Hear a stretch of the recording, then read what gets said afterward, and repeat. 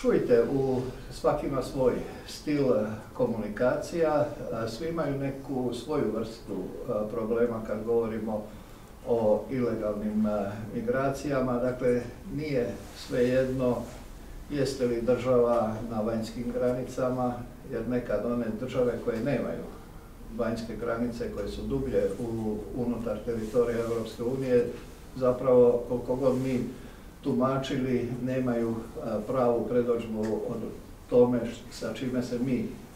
susrećemo na vanjskim granicama.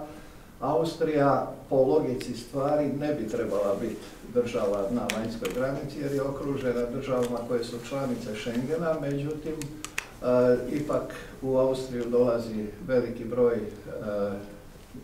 ilegalnih migranata, ponavljam, ne preko Hrvatske, od kojih jedan veliki broj zapravo uopće nije registriran. A ako dolazi u zemlju koja nije na vanjskoj granici, a nije registriran, to znači da netko unutar šengenskog prostora možda i ne radi najkvalitetnije svoj posao sukladno svim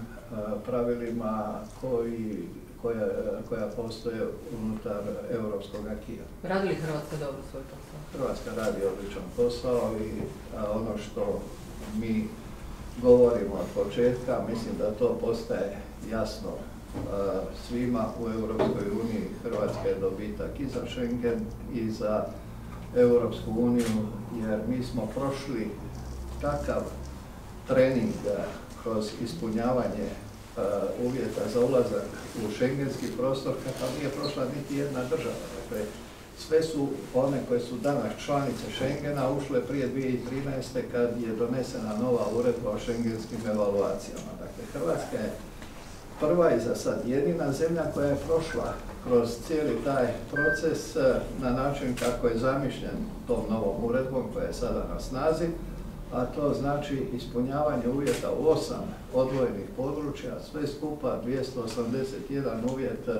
Imali smo evaluacije po svim područjima s tim da je za vanjsku granicu bilo su tri evaluacije, uključujući i ovu izvanrednu, dakle završnu,